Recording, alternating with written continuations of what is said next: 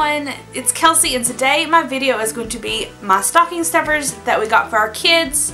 Um, we have boy and girl twins that are three years old, so some of this stuff um, is kind of centered around their age and their development, and some of the stuff is just fun stuff. But it is pretty much packed to the brim of each of them. There's not really much more room for stuff. Some of the stuff maybe is kind of coming out of it a little bit. And where I just pack it ahead of time, I had to put the stockings away because they're honestly too heavy to stay for a long amount of time because these are just inexpensive stockings. Um, that's our goal hopefully next year is to get stockings with like their names on them. We'll see what happens. But I will show you what we got. I will start with the girl gift. Start out, we got some Santa fruit snacks. Um, there's like five packs, I think is what I did in there. So some Santa fruit snacks. We don't do a whole ton of candy on a regular basis. The most candy they get is at like Halloween and at like Christmas. But I still wanted to get them something that wasn't quite just candy. It's a fruit snack. It's a little bit healthier. Um, so yeah, I got those. Got her this little headband that's purple with some pink on it. She loves purple and pink, so got her a headband got her a memory game, and this came from Dollar Tree. Um, and I thought it was really cool because it's like princesses, and she's all about princesses, anything along those lines. So, got her a memory game because that'd be good for developmental stuff.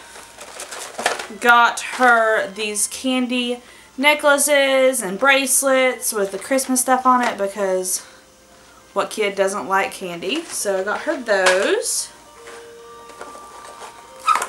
got her a pack of the SpongeBob candies that are the Krabby Patties, but they're the Christmas version. Got some of those. A little Minnie Mouse. And I got this from Dollar Tree. So little Minnie Mouse. Got her a little green pencil. And then a couple of erasers that are Christmas themed. And then the last thing in here is kind of the big item in her stocking. And it is a Trolls watch. And I haven't took the price tag off or anything. And I got this at Walmart. She loves Trolls. That is like her all-time favorite thing. She loves Poppy. Poppy is everywhere. Poppy's in her shoes, in her book bag, in her underwear. We've got Poppy everywhere. And honestly, Poppy helped with the potty training. So, got her a Poppy watch because she loves trolls. So, we got that. And that is all that is in her stocking. And then we move on to his stocking. And then he has the same gummies at the top. Then we got him a memory game as well. And this one's got trucks and boats and all kinds of like boy things. So that'd be good for him developmentally. We haven't really done a whole ton of matching stuff with him. He loves flashcards and things like that. So I think he'll really enjoy this. And it'll really help. And then got him a little Mickey Mouse. And she got a Minnie Mouse. Got him a Mickey Mouse.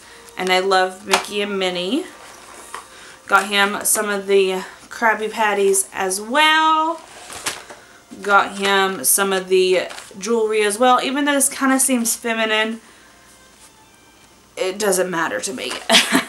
they love candy and I thought this was a good way of giving it. So I got that. And then got him some cars. He loves anything with wheels, so cars are really good for him. And then got him a pencil as well some more erasers that are Christmas themed. I love this little truck. I think it is so adorable. And then his big gift is also a watch. Ooh, it's coming apart. The boxes. But got him a Pokemon watch. I am not a fan of Pokemon. I don't not my thing, but the kids love Pokemon and he really, really loves Pokemon. So I got him this watch. And even though these watches are for like 6 plus, I think is what the age is on them.